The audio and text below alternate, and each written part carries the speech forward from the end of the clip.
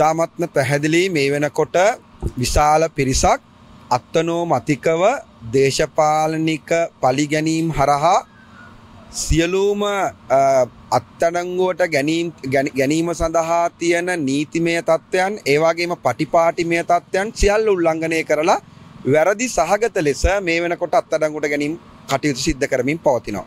එක ඉතාමත්ම අවාසනාවන්ත ඉතාමත්ම නින්දිත තුච්ච කියාවක් කියන එක පැහැදිලි අපි කියන්නට ඕන. අතවශයෙන්ම ගත්තහම මේ අවස්ථාවේ වෙනකොට මේ අත්අඩංගුවට ගැනීම සිද්ධ වෙන සිද්ධ වෙන භික්ෂුන් වහන්සේලා කීප නමක් මේ වෙනකොට අත්අඩංගුවට අරන් තියෙනවා. මේ භික්ෂුන් වහන්සේලා අතර වැෑකඳවල රාහුල හාමුදුරුව ඇතුළු පිරිසක්. දැන් උන්වහන්සේලාව ඊයේ පොලිසියට එන්න කියලා ඊය දවසම පොලිසිය තියාගෙන රෑත් බංකුවක් උඩ තියාගෙන උන්වහන්සේලාට වද වේදනා දෙමින් මැදමුලනේ වලව්ව ආරක්ෂා කිරීම වෙනුවෙන් ඉදිරි අනාගතේ මැදමුලනේ වලව්ව ආරක්ෂා කිරීම වෙනුවෙන් දැන් තමල් රාජපක්ෂ නාමල් රාජපක්ෂ මහින්ද රාජපක්ෂ වෙනම ආරක්ෂිත වැඩපිළිවෙලක් ක්‍රියාත්මක වෙනවා මර්ධනය තුලින්. ඇත්ත වශයෙන්ම මේ සිද්ධිය වෙලා තියෙන්නේ මම වගකීම් සහගතව කියනවා. ජනාධිපති මන්දිරයේදී මේක මොහොම වගකීම් සහගතව කියන දෙයක්. ජනාධිපති මන්දිරයේදී පැවතිච්ච සාකච්ඡාවකදී මහින්ද රාජපක්ෂ මහත්මයා ඉල්ලලා තියෙනවා ගෝඨාභය රාජපක්ෂ ජනාධිපතිවරයාගෙන් වහාම මැදමුලනේ වලව්වට ගහපු සොහොන්නවට ගහපු පුද්ගලයෝ අත්අඩංගුවට ගන්න විශේෂ කණ්ඩායමක් එවන්න කියලා. අද හම්බන්තොට ගිහිල්ලා තියෙන පොලිස් මූලස්ථානයෙන් කියනවා අපි දන්නේ නැහැ ගිහිපු අය. අපි කිසිම සම්බන්ධයක් නැහැ හම්බන්තොට ප්‍රදේශයට ගිහිපු පොලිස් කණ්ඩායම. ඔවුන් කියන CID එකෙන් කියලා. CID එකේ විමසුවාම CID එකෙන් නෙවෙයි කියනවා.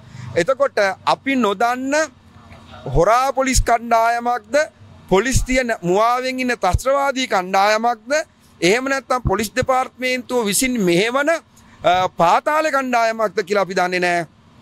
මේ වෙනකොට හම්බන්තොට ප්‍රදේශයට ගිහිල්ලා හම්බන්තොට ප්‍රදේශයේ අහිංසක දේශපාලන විරෝධතාවයන් වලට හිටපු දේශපාලන මත විරුද්ධ මතවාදී දරන පුද්ගලයෝ භික්ෂුන් වහන්සේලා අත්අඩංගුවට ගනිමින් පවතිනවා. ඉතින් ඒකේ එක් අවස්ථාවක් තමයි වැයකඳල රාහුල හාමුදුරුව අත්අඩංගුවට ගැනීම.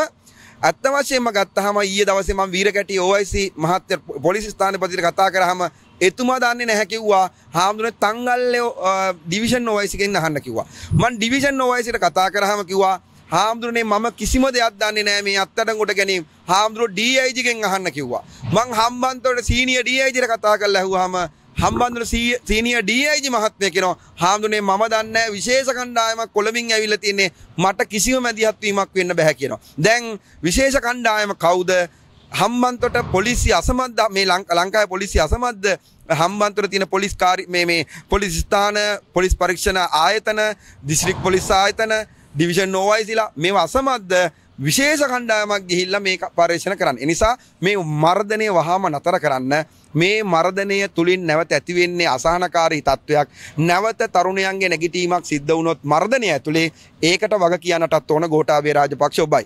ඒ නිසා දැන් මේ කළු පැල්ලම් හොඳටම ඇති මේ වද වේදනා හොඳටම ඇති මේ අපරාධ හොඳටම ඇති ඔබලා තවදුරටත් මේක වර්ධනය දීම නවත්තන්න. ඇත්ත වශයෙන්ම අපි ජනාධිපතිවරගෙන් ඉල්ලා සිටිනවා ස්වාධීන කොමිෂමක් පත් කරලා ස්වාධීන කොමිෂම හරහා විධිමත් විමර්ශනයක් කළා. විධිමත් විමර්ශන පසු මහින්ද රාජපක්ෂ නාමල් රාජපක්ෂ ජොන්ස්ටන් පෙනාන්දු ඇතුළු දේශපාලඥ මූල බීජ වුණ දේශපාලඥයොත් එක්කත් අඩංගොට ගත් වැඩපිළිවෙලක් හදන්න. එහෙම නොවන හැම අවස්ථාවකදීම ජනතාව මේ සඳහා විරෝධතා දක්වයි ප්‍රතිචාර දැඩිව දක්වයි. ඒවට වග කියන්න වෙන්නේ ගෝඨාභය රාජපක්ෂ ඔබටයි කියන එක පැහැදිලිව අපි කියන්නට ඕන.